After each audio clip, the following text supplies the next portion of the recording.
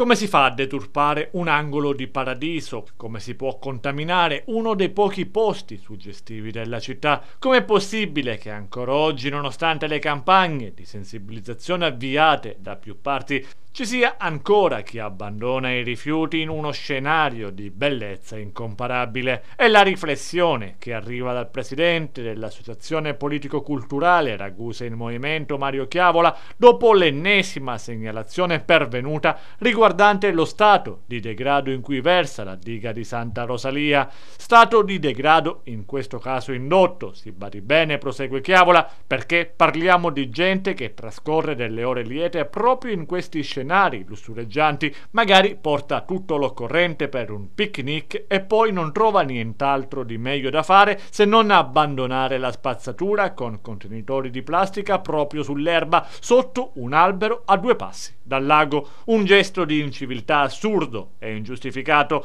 Si tratta, secondo il consigliere comunale, di una questione di civiltà e di sensibilità ambientale e anche e soprattutto una questione di buona educazione che evidentemente ovviamente da più parti latita. Il tutto è stato documentato con diverse foto che parlano da sole e bene fanno capire quanto sia allarmante la questione dei rifiuti nella diga di Santa Rosalia. A nulla servono gli interventi di bonifica, certe volte provenienti anche da alcuni volontari. Nel giro di poco tempo si formano altre microdiscariche che deturpano ulteriormente il sito. Lanciamo all'amministrazione comunale, afferma il portavoce di Ragusa in Movimento, la proposta di verificare se è possibile realizzare in zona un impianto di videosorveglianza e in attesa di promuovere controlli e verifiche più incisive. A giugno scorso, ad intervenire in merito merito fu il Movimento 5 Stelle, per voce del consigliere Firincelli, che denunciò come il sito fosse diventato una discarica a cielo aperto e mise in luce come un gruppo di pescatori provenienti dalla provincia di Catania in quella circostanza si rimboccò le maniche per ripulire l'intera zona dall'immondizia di vario tipo.